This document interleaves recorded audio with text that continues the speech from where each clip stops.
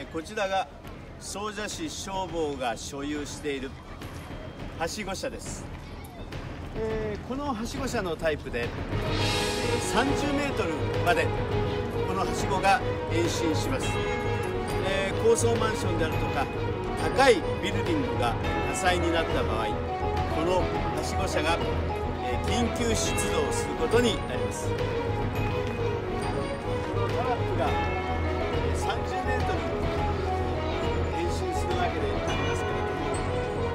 れはまあできればね、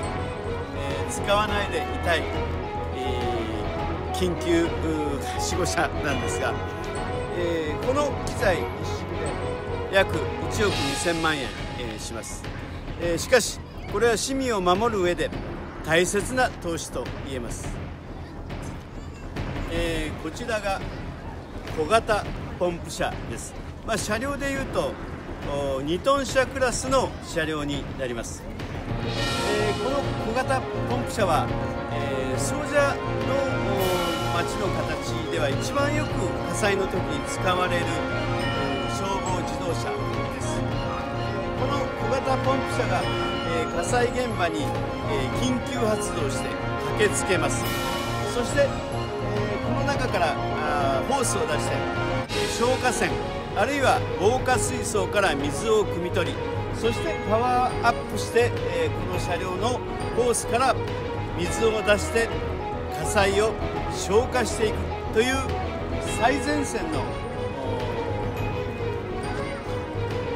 消防車ということになります。中を覗いてみましょう、まあ、こういうふうに、まあ、ドライバーが乗るんですけれども、えー、ナビゲーターシステムであるとかですね。そして救急隊員たちがレスキュー隊で飛び込んでいく時の、えー、装着器具が搭載されていますね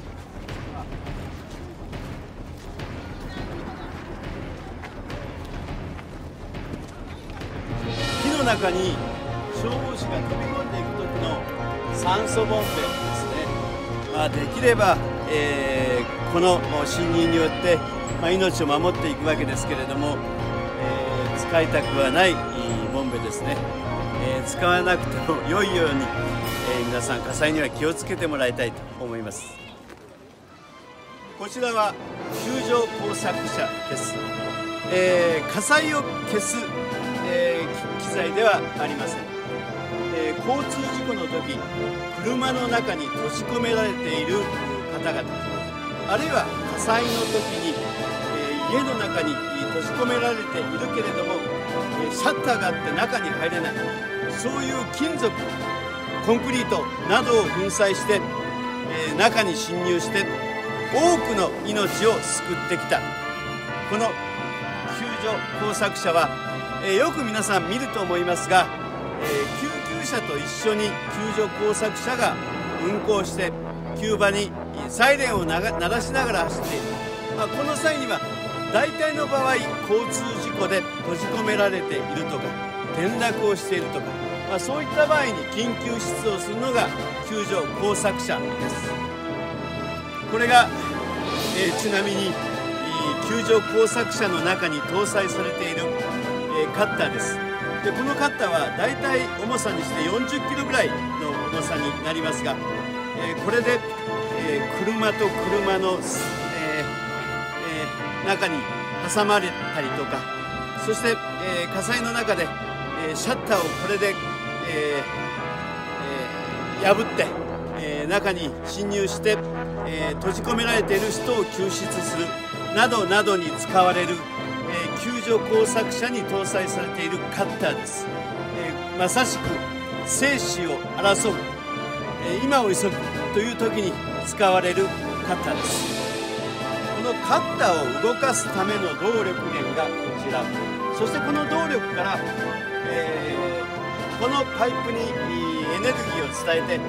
このパイプは20メートル伸びます。でそしてこれの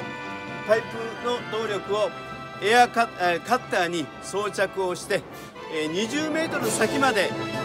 救助工作活動ができる仕組みになっています、これはエアマットと言います。でこのエアマットを例えば車の下敷きになっている方を助ける時道路と車の間にこのエアマットを差し込んでこれを膨らますことによって車体を上げて挟まれている人間を救出する。本当に、えー、命を救うエアマットです、えー、ここにはこのエアマット一番大きいものそしてこの中くらいなもの、